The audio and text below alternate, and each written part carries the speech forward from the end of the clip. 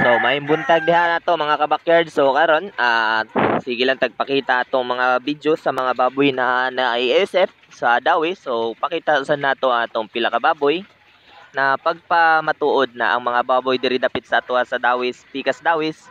ah dili paingon apektado sa maong ASF. So pagkakaroon sa atong mga ah hungihong-hungihong na wala pa jud diri ah, sa atong barangay sa Tabalong.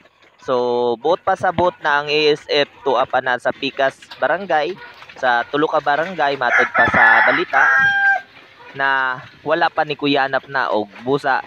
Nag-focus sila dito na mapungan ang pagkuyanap ani. So, kita, free pa kita sa ASF arin dapita, wala pa yatong mga kaso.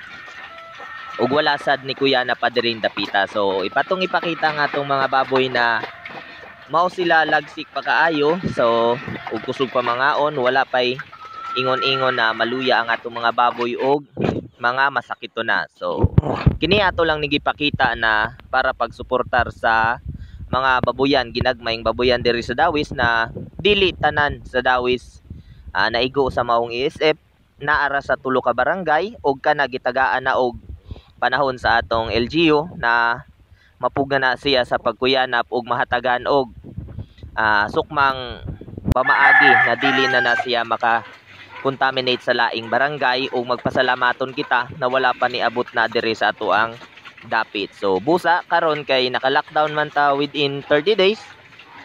So busa di nato mailihok ang atong mga baboy. So pundo lamang sa kita og maghuwat ta sa tukmang update sa atong LGU ug kanos a maklear og pwede na ta mag area sa atong mga baboy. Busa karon ato na lang ni paningkamutan na malimpyo og maayo atong mga baboy. Salamat